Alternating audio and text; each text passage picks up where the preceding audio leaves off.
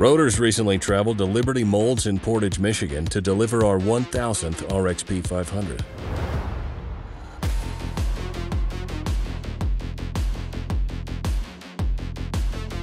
Liberty Molds has been using Röders technology for 20 plus years now and was ready to upgrade to a machine that is the best of its kind.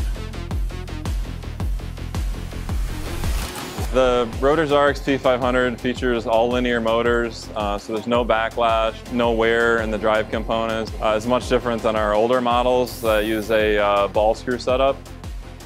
We've cut our cycle times down by 30% with this new machine.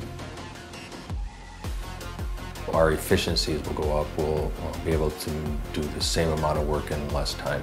Getting product out the door quicker and, and less expensive. Working with Röders is awesome.